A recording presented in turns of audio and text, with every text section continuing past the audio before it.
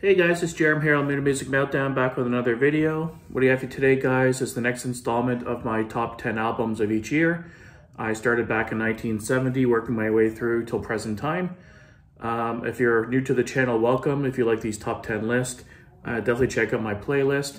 Uh, from 1970 to 79, I only did top five. And then when I broke into the 80s, I bumped it up to top 10 because I knew it was going to be near impossible to pick only five. And this year was one of the hardest years. It had so many iconic albums, some really, really great uh, landmark albums from some bands. But overall, there was either some, even some other albums from bands I really like that were on this year that were just so solid and really good. Um, there's four or five that really stood out as the top five or six, um, but there was a ton of a ton of good albums this year. Uh, so let's jump right in, guys. So the video's not too long. Um, so starting at number uh, 10, I got it reversed here. I have Overkill's second album, Taking Over. One of the most consistent bands in thrash. Uh, I love this album, one of my favorites from them. Um, if standout tracks for me would be uh, Deny the Cross, Wrecking Crew, and Power Surge. And at number nine, I'm going to go with Exodus, uh, Pleasures of the Flesh, one of my favorite thrash bands. Uh, Exodus and Testament are probably my two favorites of all time. Um, this is their second studio album as well. Love this as well. Didn't quite make it higher on the, on the list, but um, it had to make my top 10 for sure. And with songs like Deranged, uh, Parasite, and uh, Brain Dead, really good stuff. And this might be surprising for some people that this album's uh, this low on my list, but at number uh, eight, I have Abigail uh, by King Diamond. I uh, fucking love King Diamond, excuse me. fucking love King Diamond. Um, this is the iconic album, a must-have in any collection, really classic album. Um, it's probably my favorite King Diamond album, or top two or three for sure. Maybe I think my favorite. Um, I'm more of a fan of Mercyful Fate. I think that's why this is a little bit lower on my list. Uh, but I really enjoy this album. I know his vocals a little bit to get used to. Uh, but once you get past the falsettos, which he does amazing, uh, really good, good guitar work on this album, good leads, really good solos, just a solid killer album a must-have in any collection. and standout tracks for this, I'd have to go with uh, Funeral, uh, Omens, and the title track, Abigail. And at number seven, I have the debut from Death, Scream Bloody Gore. Death is my all-time favorite death metal band. Um, this is arguably the first death metal album. Some people argue um, Seven Churches by Possessed. Possessed still had a lot of thrash elements, in my opinion, this is the first pure death metal album. Um, I find um, Possessed still has had, like I said, a lot of thrash elements. So, um, you know, without that, there might not have been this album. You can argue that. Uh, but I love this album. It's super heavy, really raw. I like the later death material. You'll, you'll, I'm a huge death fan. So you'll, you'll see coming the years coming forward. I guarantee every single death album to be my top 10 guaranteed uh, with songs like Infernal Death, uh, Zombie Ritual, and um, uh, Denial of Life. Just top to bottom, a killer album. And at number seven, number six, I have the Behemoth album, uh, Appetite for Destruction by Guns N' Roses. I'm not the hugest Guns N' Roses fan, but there's no denying this album's impact and how it changed the whole genre. Uh, they came onto the Sunset Strips uh, scene and just change that whole demographics over there. And uh, when glam metal was, uh, you know, the, the powerhouse over there, these guys came in with a different look, a little bit different sound, a little bit bluesier, a little hard rock, and uh, they pretty much changed the game. Um, there's no denying this album. The only reason it's not higher in my list is because I'm, I'm honestly sick of the singles. I've heard them so many times. I just can't stand them. Like at this point, I, I, I can't listen to this album too much anymore because of it's so overplayed. Uh, but, you know, Welcome to the Jungle, Night Train, uh, Paradise City, of course, Sweet Child of Mine. Like, everyone knows these songs. Uh, great album. It is a perfect album. I think it's an amazing record, but it's just so overplayed. It's not one I really go back to too often nowadays. Once in a blue moon, I'll throw it on in the summertime or something just for nostalgia. And at number five, I have uh, Death Angel of the Ultraviolence. Great album uh, debut album from the uh, Bay Area Thrashers. You have to remember when these guys put this album out, they were like 16, 17 years old, really young. for how old they were, they put it on great album. Killer guitar riff, super raw, sounds amazing. Um, yeah, this is a one of my favorite thrash debuts of all time. As soon as I heard I was doing it in 1987, I knew this was going to be definitely higher up on my list. Uh, great, great stuff. Love this album. Probably one of my favorite Death Angel albums. And they're one, in my opinion, one of the most underrated thrash bands of all time. They should have been way bigger than they were. There's Killer Live. Um, they definitely didn't get enough rec recognition. And number four, I have Among the Living by Anthrax.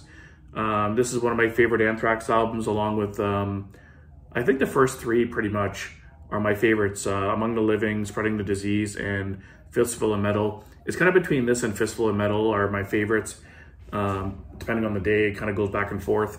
This is a solid album, really thrashy, really good stuff before they kind of went to that more sillier kind of sound later on. Uh, songs like um, I Am the Law, Among the Living title track, and Indians. Really solid album. I still listen to this pretty regularly, and it's killer. At number three, uh, initially when I did this year, I when I, I thought of this album, I'm like, this is gonna be my number one for sure. Until I kind of looked at the list of albums that came out this year, and there's a couple that somehow slipped my mind that I forgot about. Um, but at number three, I'm going to put Testament's The Legacy, the debut. Testament is my all-time favorite thrash metal band. Uh, this debut kicks so much ass, it's not even funny. Like I said, I, I originally was thinking this was going to be number one for sure, um, but it's killer. Uh, Over the Wall, The Haunting, Do or Die, Alone in the Dark. Just a killer album, really raw. Fucking love Testament. All their stuff is great. One of the most consistent bands of all time. And I was happy to hear that Lombardo uh, was announced to be the new drummer, replacing uh, Hoglan, which is obviously big feet uh, shoes to fill. Uh, but if anyone can fill Hoglan's shoes, it would be Lombardo. So really good. Best lineup in metal right now, in my opinion. It's like an all-star lineup. And at number two, I uh, again, the number one and two were albums I kind of slipped my mind. And then I was kind of looking through the year online, I'm like, holy fuck, these albums came out in that year as well. And uh, yeah, these kind of bumped Testament down to number three. At number two, I had to put Savatage, Hall of the Mountain King. This is a fucking ridiculous album. It's got like that old school heavy metal, it's thrashy, it's heavy, it's melodic, killer vocals, killer guitar riffs, killer solos. It has it everything. Um, they're kind of a mix of power metal, heavy metal, progressive metal, and standout tracks, Legions, uh, White Witch, Prelude to Madness, instrumental's really good. The title track, Strange Wings, uh, Strange Wings, incredible album. This is a, a must-have in any Metalheads collection. I didn't actually discover this album until much later in my life, and it's killer. It's amazing.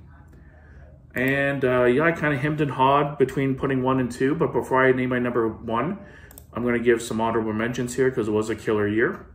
So bear with me, guys. I'm just going to quickly go down the list alphabetically here to see what stands out. Uh, Armored Saint had Raising Fear that year. Good stuff. Uh, Coroner had R.I.P. Uh, what else? Icon had uh, More Perfect Union. Uh, Helix had uh, Wild in the, in the Streets. Heathen had Breaking the Silence, which is a really good album. That almost made my list. It just didn't quite make it. Uh, Grim Reaper had Rock You to Hell. Really, really good stuff. Um, uh, Dio had Dream Evil. Not one of my favorite Dio albums, but it's fucking Dio. It's still really good. Uh, Destruction had the Mad Butcher EP that year. I don't really include uh, EPs, but uh, Def Leppard had Hysteria, monster record, 20 million copies I think it sold. Um, Priest had uh, Priest Live, the live album that year. Uh, Kiss had Crazy Nights, one of their heaviest albums. I'm not the biggest Kiss fan, but a solid album. Uh, Kreator had Terrible Certainty. Uh, let me see here. Just kind of looking through quickly, guys. Just trying to see what stood out. I didn't really make a list. I'm never prepared with these like honorable mentions. I should be more, more prepared with this. Uh, Sodom had Persecution Mania. That's another one that barely didn't make my list. Uh, the Canadian death metal band uh, Slaughter had Strappado. Really good uh, album as well. Love that album. Sepultura had Schizophrenia. Really solid album from them as well. Um, that's their second album. Didn't quite make the list. Uh, Sacred Reich had uh, Ignorance, another big one that didn't quite make the list.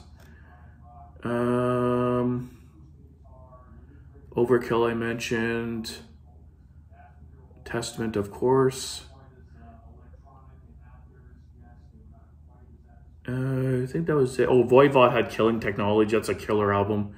Didn't quite make the list. Uh, another one that was up there. And Whitesnake's uh, self-titled uh, 87 album was a big one for them. I'm not the biggest Whitesnake fan. It's not my subgenre, but it's good. And uh, number one, guys, I had to put it uh, Candlemass Nightfall. My favorite doom metal of all time. This is sludgy. It's got the riffs. It's beautiful. It's melodic. The vocals are incredible. This is my this is hands down my favorite doom metal of all time uh, album, and I love the artwork. I love everything about this album. Um, I, I, don't know how I almost forgot about this album when I was looking through the list. Like, holy fuck, Nightfall came out this year. Um, so yeah, this had to be number one. It's my favorite, like I said, favorite Doom album of all time.